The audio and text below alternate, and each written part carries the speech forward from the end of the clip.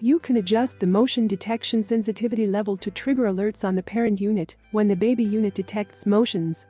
Let's take a look at different sensitivity level settings. To adjust the motion detection sensitivity level, go to Detection menu, select Motion. Press downward arrow to select sensitivity. Here you have three levels to select. The higher the level, the more sensitive it is to motions. Level 3 is the highest.